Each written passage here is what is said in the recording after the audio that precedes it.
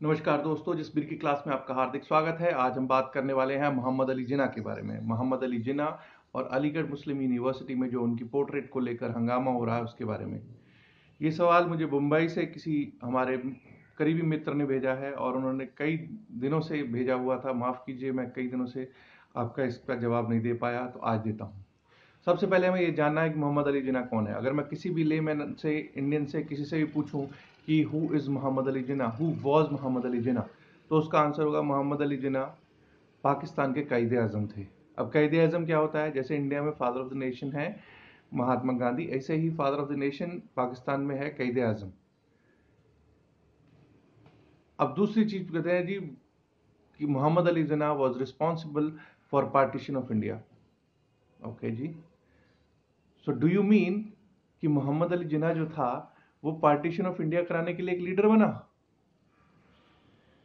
मोहम्मद अली जिना एक गुजराती था, जिसके की वंशज जो थे, वो हिंदू थे। और काठियावाड़ी था। उसके बाद चलिए छोड़िए, उसकी हिस्ट्री में नहीं जाते, लेकिन जो अभी सब्जेक्ट है, उसी के ऊपर रहते हैं।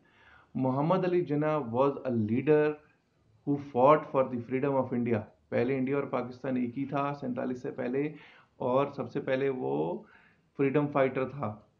ये बाद में हुआ कि उसने सोचा, उसी ने नहीं सोचा, कई हिंदू नेताओं ने भी ये सोचा।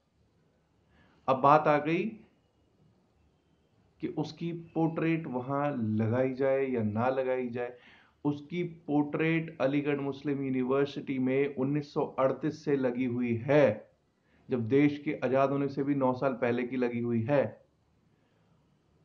1938 में इस, उसको honorary honorary membership of student union of Aligarh Muslim University milli.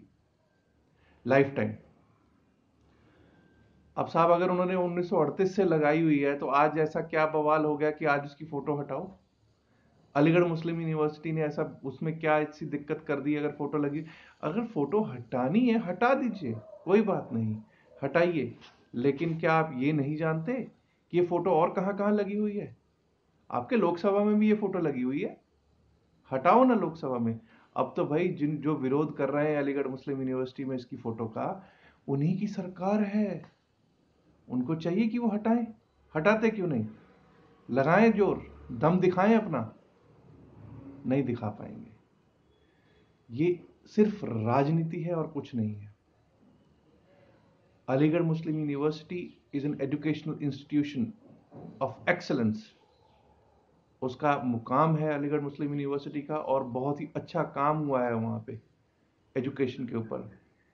Sir Syed जो थे, जिन्होंने ये अलीगढ़ मुस्लिम यूनिवर्सिटी का जिस, जिसने सोचा था, जिसने बनाया था, जिसने अपना पैसा लगाया था, सब कुछ लगाया था उसने खूब सपने देखे थे और उन पे काफ़ी काम हुआ है और अच्छा काम हो रहा है।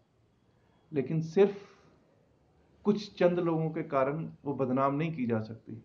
चंद लोग जिनके की पॉलिटिकल गेम्स हैं। पॉलिटिकल गेम्स के लिए सिर्फ़ एक आ, ये हुआ किस बात पे वो भी बता दूँ इसकी जड़ में क्या है कि एक गौतम साहब हैं जो कि एमपी हैं। जो कि लोकल अलीगढ़ के एमपी हैं उन्होंने चिट्ठी लिखी है अलीगढ़ मुस्लिम यूनिवर्सिटी को कि क्यों नहीं, क्यों क्यों इसकी फ़ोटो वहाँ लगाई हुई है? तो भैया एमपी साहब गुड पार्लियामेंट गुड लोकसभा और वहाँ से हटाइए। आप तो जाते हैं, आप तो रिप्रेजेंटेटिव ऑफ़ पीपल हैं अलीगढ़ के तो आप वहाँ से हटवाइए ना, कोई रोक रहा है क्या आपको? आपको मेरा वीडियो कैसा लगा? ज़रूर बताएँ लाइक करें। अगर अच्छा ना लगे तो डिसलाइक करें, लेकिन ज़रूर बताएँ कि क्यों डिसलाइक किया। और लोगों के साथ शेयर करें और सब्सक्राइब करना बिल्कुल ना भूलें। Thank you very much